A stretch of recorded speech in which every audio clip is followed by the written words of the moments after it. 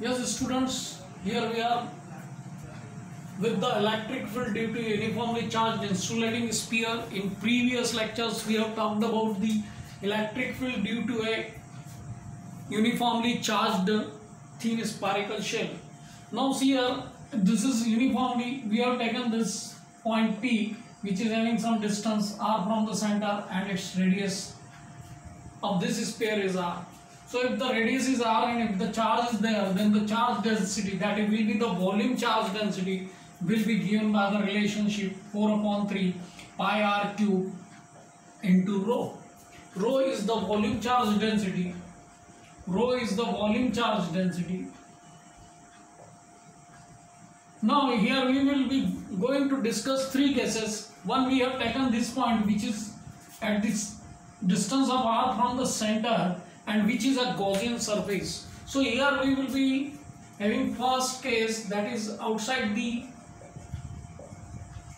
sphere at a distance of r r we want to know the electric field हमको electric field calculate करना है so we have taken this electric field will be radially outward and the charge is uniformly distributed so the number of flux by according to the Gaussian theorem will be given by q upon epsilon naught now here we also know the phi e will be given by the relationship e into 4 pi r square where r is, is the radius of this Gaussian surface so the area the surface area will be given by e into 4 pi r square.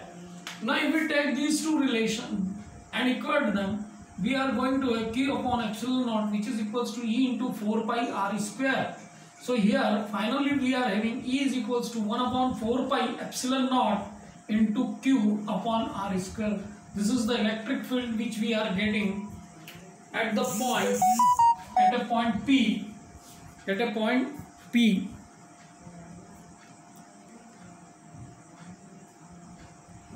at a point P which is the Gaussian surface. So here R is greater than R which is the radius.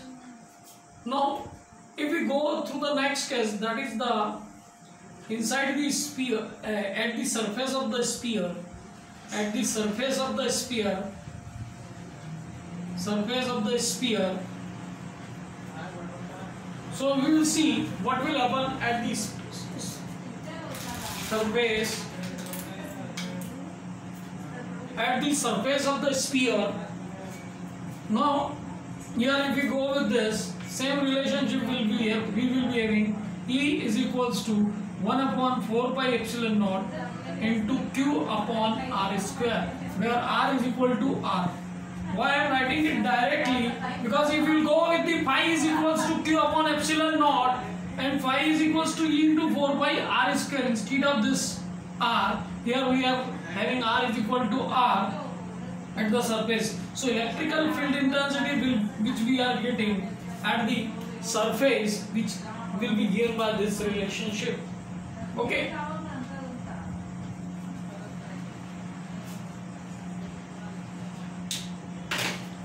Okay, now I will go with the third case that is the inside the sphere. Inside the sphere, if we go with the inside the sphere, we have taken a point Q, this point Q, or we can say this point is Q, which is also at a distance R. We have assumed R, and here R is less than R.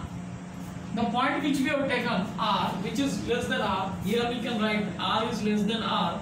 Now there will be change in the charge because the volume is changing. And when volume is changing volume is changing then the charge will also change so q dash will be equals to 4 upon 3 pi r cube into rho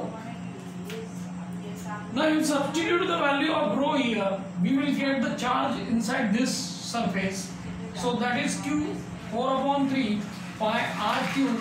Rho is rho is equals to Q upon 4 upon 3 pi r cube. This is the value which we are getting. Now here 4 pi to 4 pi is cancelled, 3 to 3 cancel and here what we are getting q dash q dash is equals to q r cube upon r cube this is the relationship which we are getting in terms of q okay so the flux which we have here now phi e is equal to q dash upon epsilon naught and this e is equals to uh, phi e is equal to e is equal into 4 pi r square. Already we have taken r is less than r. So if we go through this substituting this value here we are getting q r cube upon epsilon naught into r cube which is equals to this e into 4 pi r square. Okay. So here what we are getting electric field which we are going to calculate it here. The electric field which we are ha having it is E is equals to 1 upon 4 pi epsilon naught we are getting this. 1 upon 4 pi epsilon naught. Q. R cube upon r cube into r square. E is equals to 1 upon 4 pi epsilon naught. Q r cube upon r square. So we can write electric field that will be 1 upon 4 pi epsilon naught into this q into r upon r cube. This is the relationship which we are getting. Okay. So electric field which we are getting 1 upon 4 pi epsilon naught into q into r upon r cube. Okay. So finally we can conclude with this in terms of charge. But if we want to know the relationship in terms of charge density that we can also have. I am writing it this answer over here.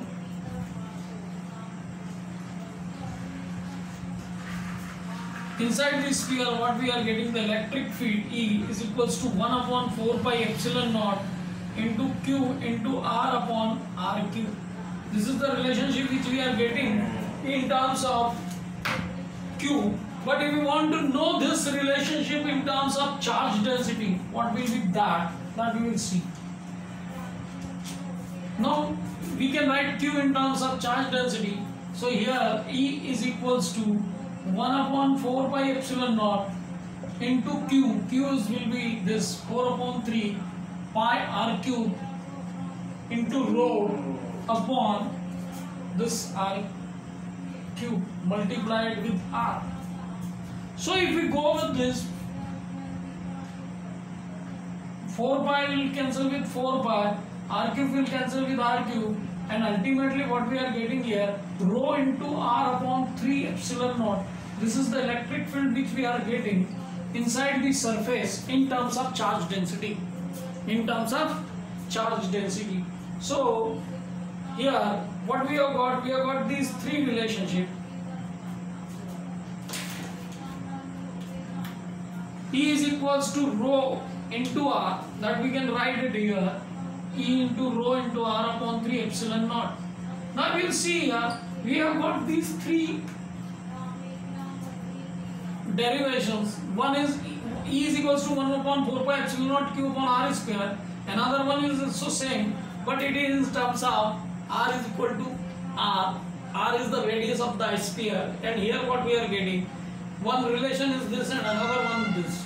Now we can conclude with this relation how the electric field is changing or we can analyze this electric field how the electric field changing due to the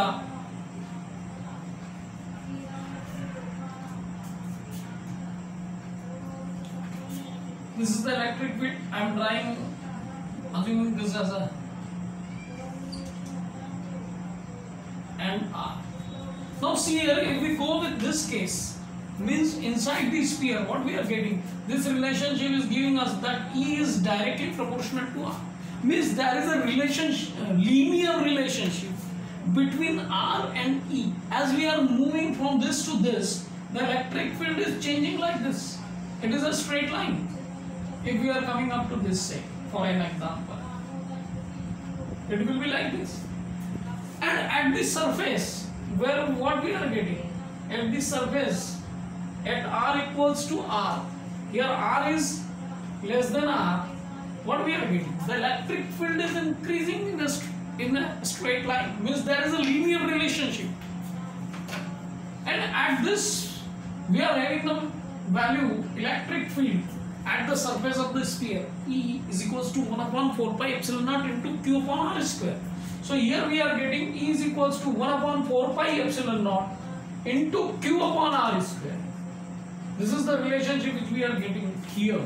And after that what we are getting? This relationship where we are getting E is directly proportional to 1 upon R square R inversely proportional to this. Means this is going to be like this electric field as the R is increasing electric field is going to decrease. As we are moving from this it is increasing linearly and at this moment point it is coming to this E is equals to 1 upon 4 pi epsilon naught into Q upon R square. Now after that the electric field is decreasing. As you move away from the uniformly charged insulating sphere it is moving away. Now here what we can say it is just like a nucleus where proton the charge on the proton is uniformly distributed over this. Like that. Okay. So this way what we have got we have got the three different positions at the inside the surface at the surface and this of the electric field due to uniformly charged insulating sphere. So here we are concluding with this We'll move in the next lecture.